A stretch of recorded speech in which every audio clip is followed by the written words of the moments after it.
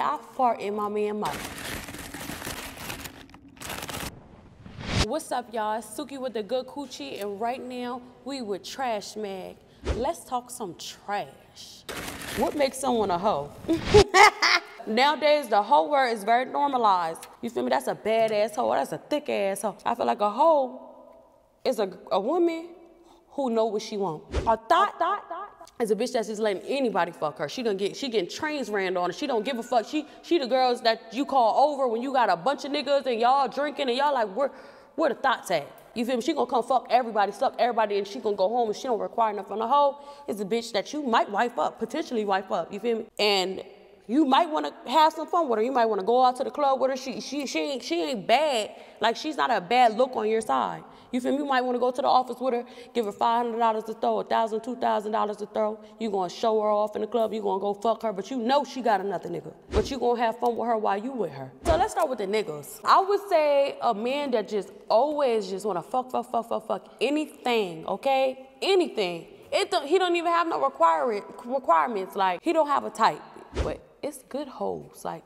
what about the man that wanna fuck bitches, but he make sure he spend a bag on everybody. He make sure he take them out. He treat them good. You feel me? Like, when you feed a woman, she is very much more sexual. We are mean as hell when we hungry. Well, don't y'all understand? Why don't they get that part? What's your least favorite porn category? I just hate watching porn with nigga fucking hoes. Only girl on girl, cause it's just like, what? Ew. My favorite probably would be, oh, okay, I put in thug, black thug nigga with Tim's fucks. Black thug nigga with Tim sleeps with petite girl. Every woman like guys that our favorite thing is the Air Force, the crispy Air Force ones and the Tims.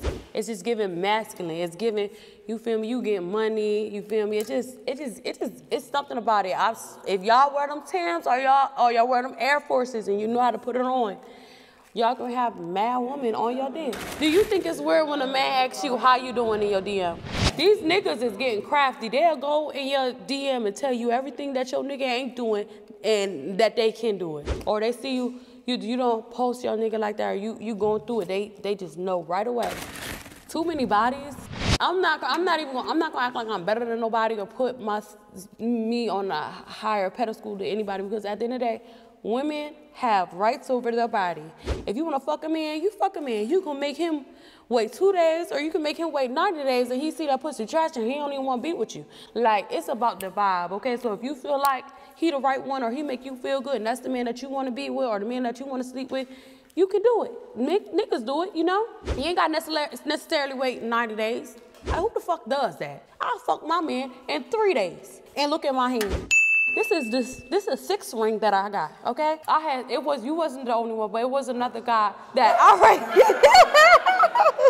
it's women out here who, you feel me? They might fuck two niggas, three niggas in a week. Like I know a girl who said sometimes she might fuck two niggas in one day. Cause she, she don't like her nigga like that. So so she might fuck with this other nigga and then she go home and that nigga still want that pussy. So she got to give it up to both of them. Women is fucking. So y'all be thinking y'all have a good girl and she don't be that good. Women be trying to do so much like cause so much drama with these niggas, but these women out here is fucking. Just because somebody got money don't mean that they don't have this and this and the gift they keep giving. Women out here is really nasty. I'm just gonna tell y'all the truth. It's getting sad out here. Bitches in their 20s, probably on a, some of them, maybe 60 to 200 bodies. But that don't mean you judge them because a lot of y'all niggas fuck 30 bitches a month. All y'all is nasty if you ask me. And then bitches want to say, oh, well, you talk about sucking dick and uh, bitch, I be talking about my man. You ask them when the last time you had sex, a bitch always gonna say three months because they feel like niggas with little dicks do not count as a body, and they do. Do you fart around your man? I fart in my man's mouth. I love to fart by my man. Bill, don't I fart around you all the time? I fart in my man's mouth. If your fart smell like grape soda, bitch, you gonna let it go. Still ate this coochie. That's that's that's crazy.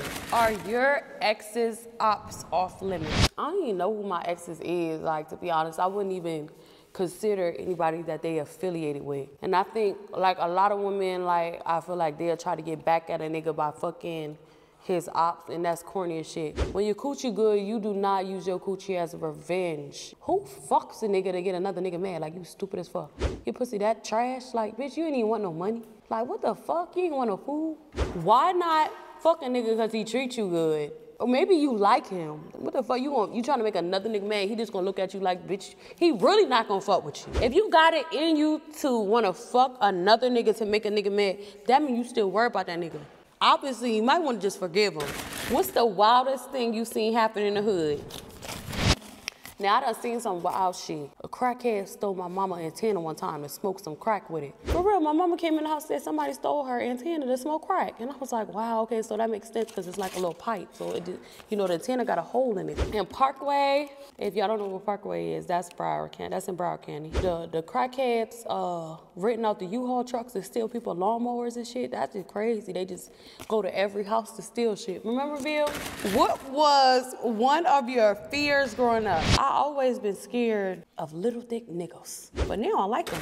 If you had to live on an empty island for a year and could only bring three things, what would it be?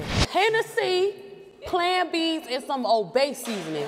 Cause like, how you gonna be on an island without no Hennessy? If you weren't a rapper, what would you be doing? I think, honestly, if I wasn't a rapper, I would probably be a lawyer. And my man said he was gonna send me to law school because I love to argue. Like, I would never lose an argument. And I'm really good at investigating. Like, my friends hit me up to investigate the niggas that they potentially gonna talk to. You feel me? I will investigate and find out everything about this nigga from his mama to his daddy, from all his baby mamas, the kids' names, who he done cheated with. Like, I just love to do it. You feel me? No, for real, I'm the FBI. Like, I, I just, got skills when it comes to interrogating. You feel me?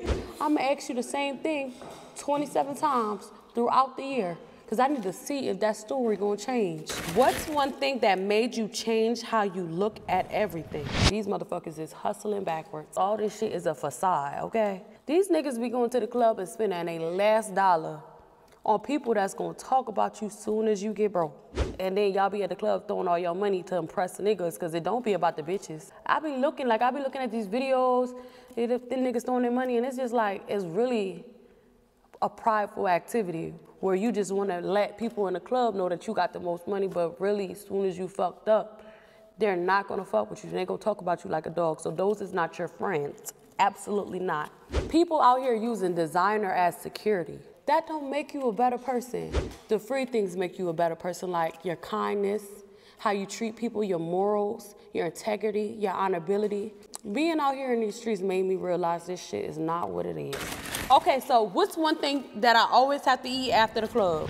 If I'm at the office, I'm going behind the office to the food trucks. I'm finna give me some Haitian food. Either I'm getting some griot, and I need some real fatty griot because I like the fat. It's Sukihana, and I just wrapped it up with TRSH Talk. Period.